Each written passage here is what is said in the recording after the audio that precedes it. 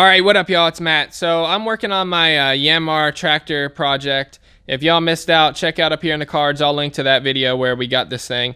But uh, I'm working on the injectors right now. I'm cleaning them up, and I know not many people are gonna have a, a Yanmar um, tractor with these injectors, but I'm just gonna make a video real quick to show y'all how to um, clean them up and what the deal is with them. That way, hopefully, it'll help somebody out who's working on one of these things. So y'all check this out. All right, guys, so here's the injector right here. Apparently, these are really popular on boats. Um, yeah, if you have a Yanmar engine in your boat, you probably found this video. So I'm working on a tractor. It says E2 here. I'm not exactly sure what model number, you know, part number it is for this. I'll put links in the description to all that info. But basically, I'm just cleaning up the injectors on this thing because we're trying to figure out why it won't start.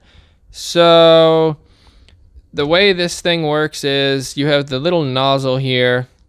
Um, if you wonder why I'm working where I am, it's because it's the cleanest part in the garage, honestly. So I don't want dirt getting down in these parts. Um, you have the little nozzle here, and it has that tiny, tiny little hole right there.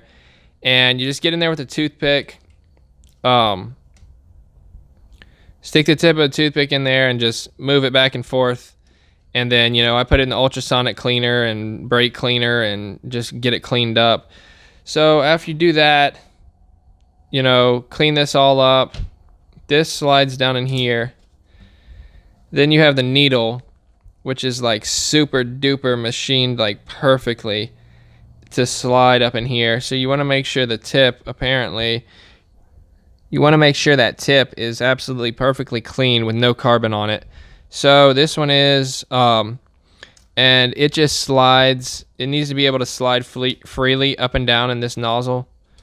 And it is, so that's clean. Um, the next thing you got to do is screw this bad boy back down. Hopefully you have two hands. You just screw this back down. And then uh, where's the other piece? This little piece right here goes down in there. It's a hole it slides up and down in. Then you have this little piece right here and the spring. So basically it goes like this.